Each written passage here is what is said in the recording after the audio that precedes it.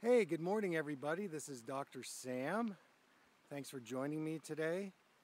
Well, I want to talk about a subject called dry eye and computer vision syndrome. Now, I like to use the 20 20 20 rule, and that has to do with taking a 20 second break, looking at 20 feet every 20 minutes if you're on a computer screen, a tablet, or an iPhone.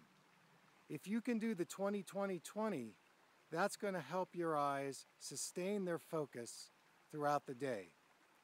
Join me on my YouTube channel, and I'm going to talk in great depth about computer vision syndrome.